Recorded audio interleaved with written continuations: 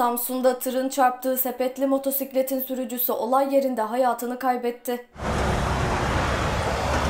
Kaza Atakum ilçesi Samsun-Ankara Karayolu'nun 8. kilometresinde Sarı Işık mevkiinde meydana geldi. Gürcistan uyruklu vatandaş idaresindeki MZ444DI çekici plakalı ve GG809P dorse plakalı tır Samsun'dan Kavak istikametine seyir halindeyken Sarı Işık kavşağına geldiğinde yolun sağındaki tali yoldan ana yola çıkış yapmak isteyen 73 yaşındaki Ahmet Kılınç'ın kullandığı 55DD 144 plakalı sepetli motosikletle 55DD 144 plakalı sepetli motosiklete çarptı. Çarpma sonucu savrulan sepetli motosikletin sürücüsü Ahmet Kılınç olay yerinde hayatını kaybetti.